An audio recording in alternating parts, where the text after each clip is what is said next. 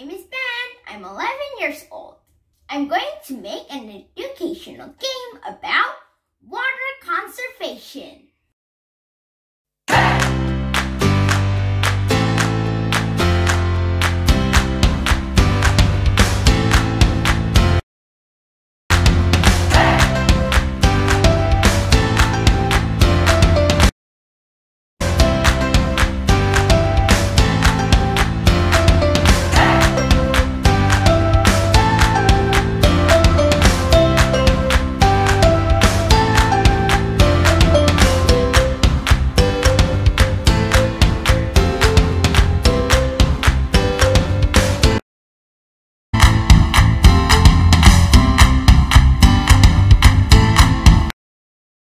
It here,